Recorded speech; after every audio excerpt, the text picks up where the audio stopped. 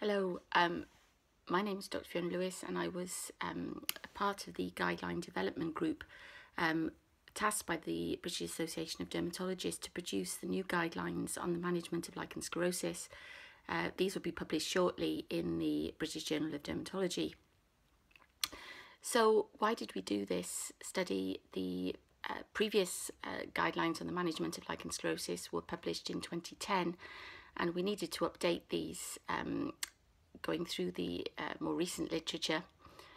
So how did we do it? Um, we screened over 2,000 papers and then analysed 15 in a more detailed and uh, qualitative way. And 255 were uh, then uh, included um, as case series and case reports.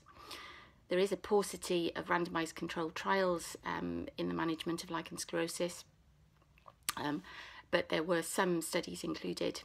We then used the GRADE methodology uh, to produce guidelines.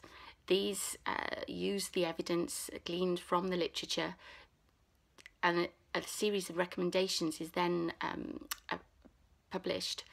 So as a result of this, we found 31 recommendations for the treatment of lichen sclerosus and nine for further research.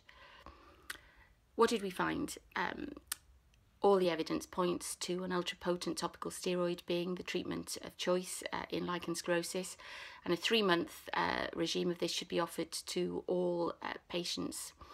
Uh, men with urinary symptoms or meatal involvement do need um, surgical referral early in the pathway.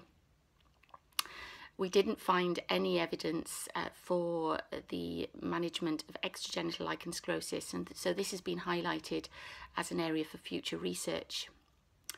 How are they relevant? Um, we hope that we produce guidelines uh, across primary and secondary care with clear uh, reasons when to refer the patient for specialist advice.